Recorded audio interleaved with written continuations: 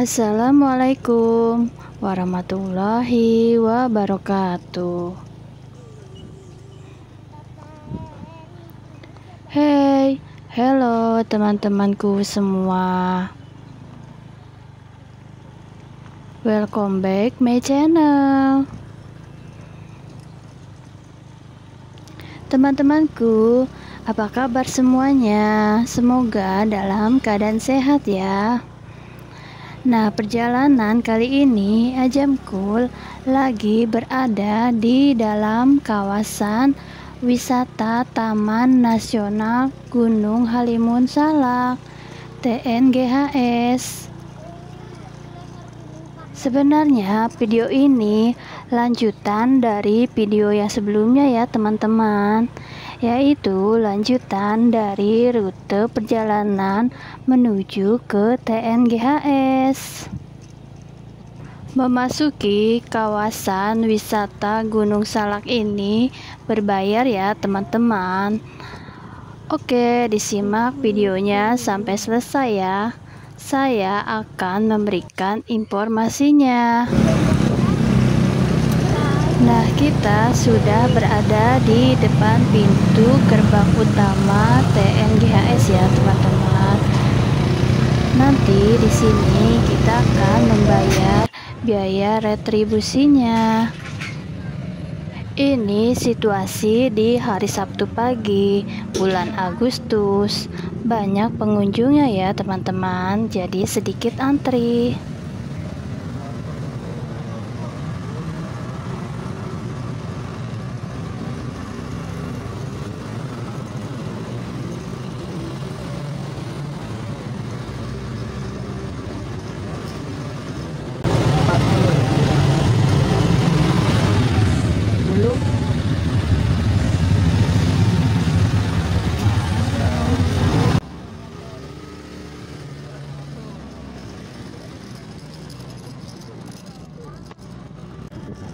Di sini tadi kita dikenakan tarif retribusi seharga Rp40.000 untuk satu motor dan dua orang dewasa. Itu pun tidak termasuk dengan harga tiket masuk ke tempat wisata alam yang berada di kawasan ini ya, teman-teman.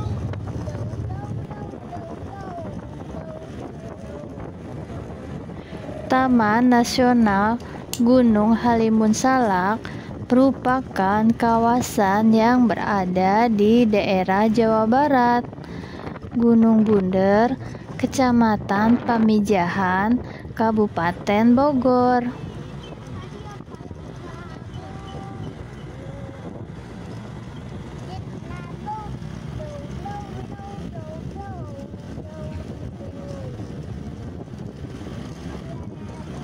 Di kawasan ini banyak sekali tempat-tempat wisata alam yang sangat populer nih teman-teman.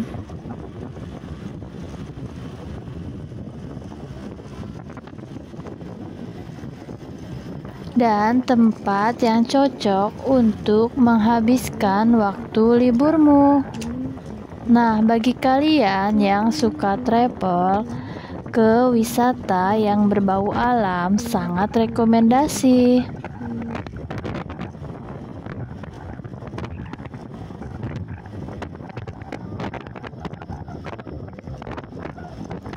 Untuk dapat menikmati tempat-tempat wisata alam yang berada di kawasan Taman Nasional Gunung Halimun Salak ini, Harga tiket masuknya mulai dari harga 10.000 sampai 20.000 per orang.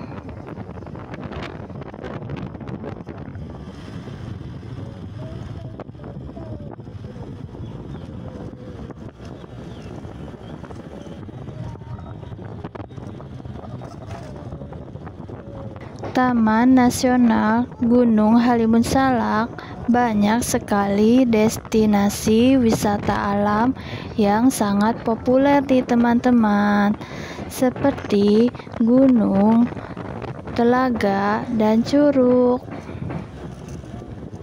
Oke, saya akan merekomendasikan curug-curug yang terpopuler di dalam kawasan Gunung Salak ini. Curug Gua Lumut Endah.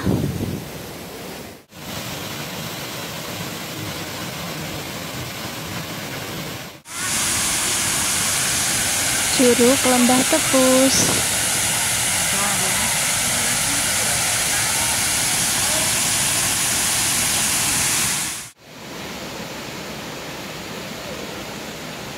Curug Pasir Rengit.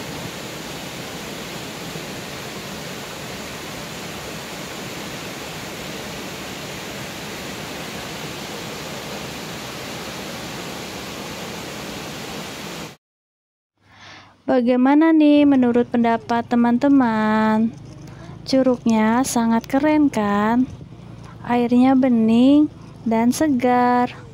Cocok deh bila berlibur di musim kemarau seperti ini.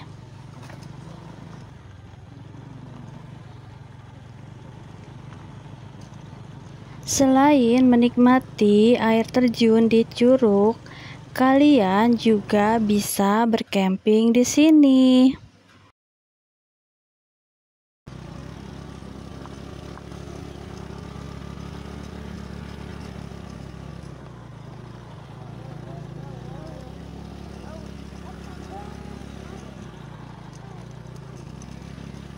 Bagi kalian yang ingin ke Curug Bungsu, berada di sebelah kanan nih teman-teman.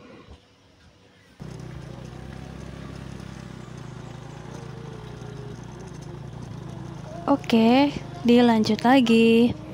Nah, kondisi dan suasananya seperti ini nih teman-teman. Kondisi jalannya ada yang rusak atau berlubang seperti ini nih jadi harus berhati-hati ya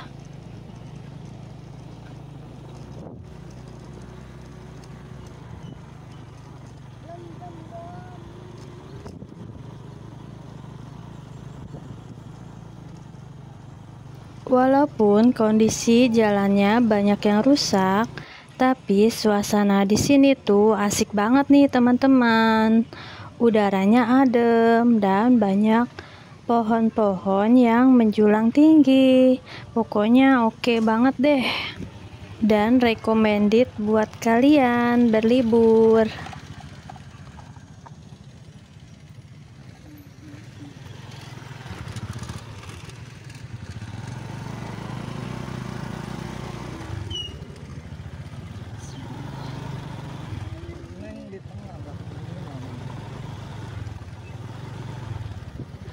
Oh iya teman-teman, sedikit saran dari saya. Nah, apabila ingin berlibur di kawasan Gunung Salak ini, sebaiknya siapkan terlebih dahulu stamina kendaraan kalian.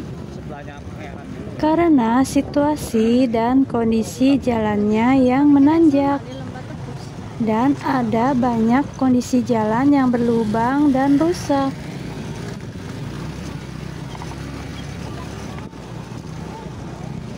Oh iya, untuk mengetahui informasi dan review lengkapnya, Curug Pasir Rengit, Gua Lumut Endah, dan Lembah Tepus Silakan dilihat di koleksi video Ajamkul ya.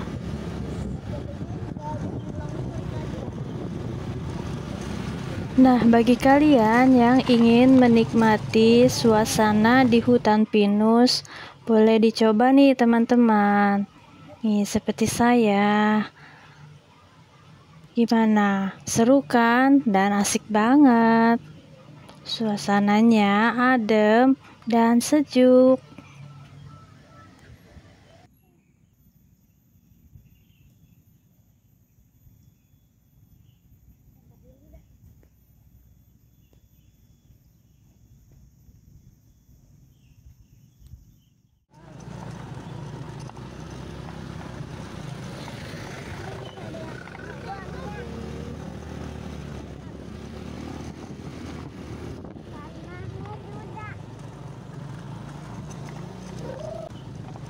Oke, dilanjut lagi ya teman-teman.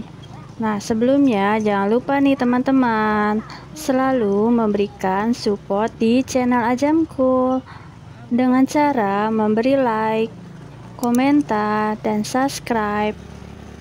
Share sebanyak-banyaknya ke media sosialmu. Oke teman-teman, terima kasih banyak ya. Semoga video ini bermanfaat. Selamat datang di objek wisata Curug Pengantin Cadas Ngampar. Oke.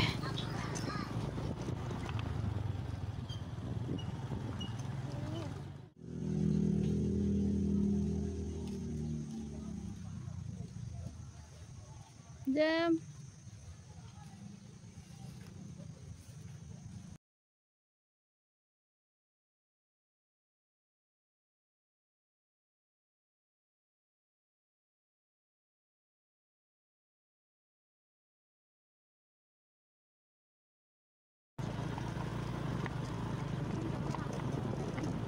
Di area kawasan Taman Nasional Gunung Halimun Salak, banyak sekali destinasi wisata alam yang populer. Tapi tidak hanya itu saja nih teman-teman. Di sini pun juga banyak sekali warung-warung. Tempat penginapan seperti villa dan area camping.